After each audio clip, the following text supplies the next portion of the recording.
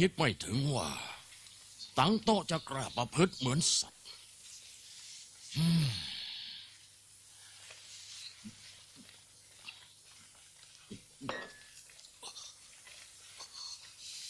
มบังคับข่มขืนลูกข้า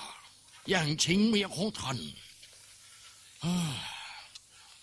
เรื่องนี้ผู้คนก็จะเยาะเย้ยหยามหยัน แต่ไม่ใช่หยามมันหรอกนะ ยามเราสองคนตั้งหากเรา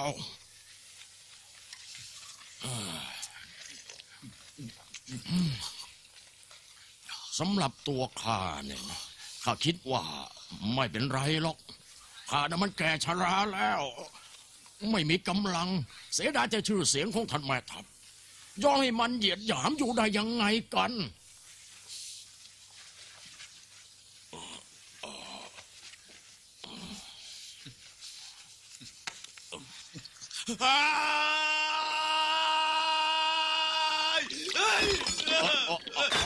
ท่านแม่ครับข้าขับพลั้งฝากไปหน่อย อย่าถือโทษโกรธข้าเลยนะ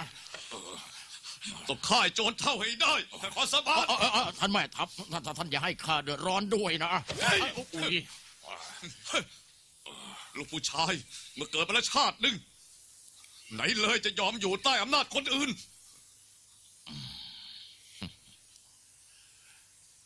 ด้วยความสามารถของท่าน ต้องโค่นตั้งโต๊ะได้แน่ ข้าก็อยากจะทำอยู่หรอก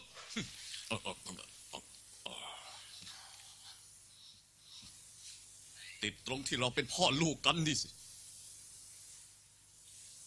ข้าเกรงว่าคนจะครหาได้